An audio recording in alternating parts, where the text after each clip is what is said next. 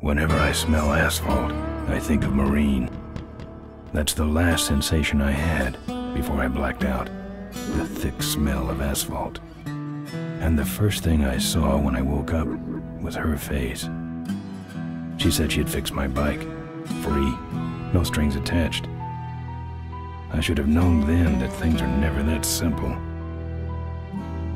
Yeah, when I think of Maureen, I think of two things. Asphalt and trouble. Rip Burger, you're dumber than dirt.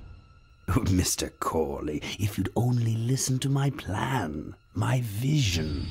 I know your plan, Rip Burger. You're waiting for me to die so you can take over my company.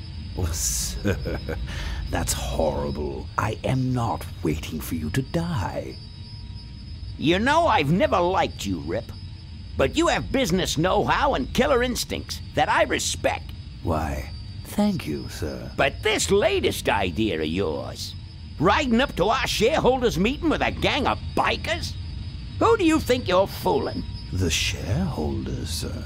It's good PR to be seen hobnobbing with real Corley Motors customers. What do you know about our customers, Adrian? You've never even been on a bike. Well, you know I'd be on one right now, sir, if it weren't for my destabilizing inner ear condition.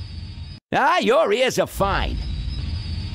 It's what's between them that scares me.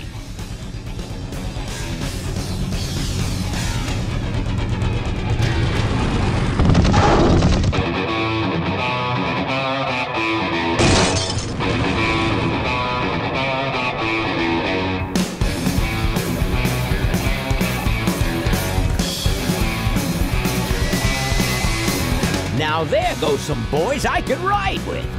Step on it. Let's find out who they are.